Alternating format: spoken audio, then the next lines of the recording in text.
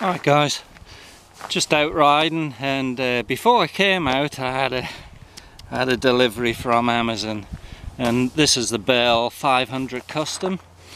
And it's just a first impression this video that's all because I've, I've only been riding with it for a couple of hours. But I gotta say it fits really well really Im impressed and it feels pretty light. For a for a three-quarter helmet it's pretty light and uh, let's have let's have a look at it. Like I say it feels really comfortable. And it's nice to have a I mean I got, I got a if you watch my videos you know I have a um, adventure helmet. The the um, adventure whatever the hell it's called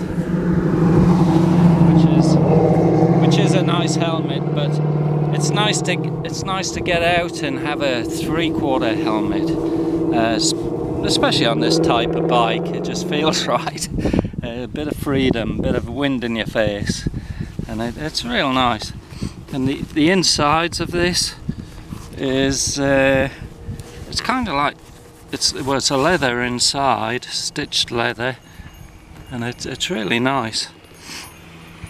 Hi you can you can stick those bubble visors on. I don't have any of that yet. The helmet just comes as the helmet. That's that's it. You don't get you don't get squat else. But um, I, I, paid 129 bucks on Amazon. If I can find a link I'll, I'll put the link in description. And you can peel off the well actually on this one you can't but on the plain ones they come in loads of different colors from matte black to sparkly gold. There's, there's a good colour range, but I, I, like the black gloss and I, I like the uh, bronze in the in the middle. Uh, they call it bronze, but it's kind of gold looking, and it's got a gold trim on here.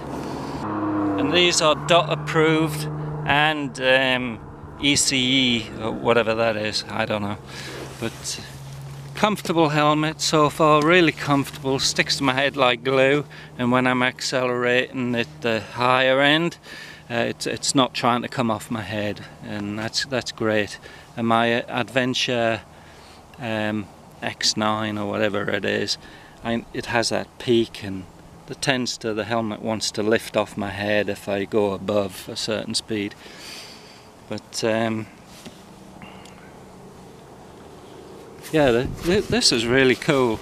Uh, I like the history of the of this helmet. It goes back about 50 years or something like this, and it hasn't changed an awful lot. Good old D-ring um, fasteners there, and you've got a snap, a snap. It's just it's as basic as you can get. But they, they look really good. Uh, I, I love them. I love the look of them.